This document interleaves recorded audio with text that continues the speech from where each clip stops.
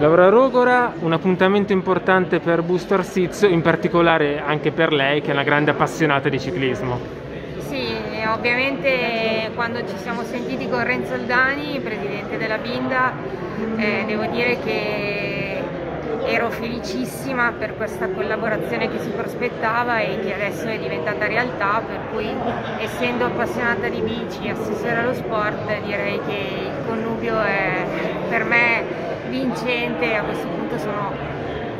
orgogliosa di questa partenza ma soprattutto eh, voglio continuare a sottolineare che oltre alla partenza che sarà il 5 di ottobre la vera partenza per noi parte a breve perché veramente vogliamo organizzare una serie di eventi che vadano sulla sicurezza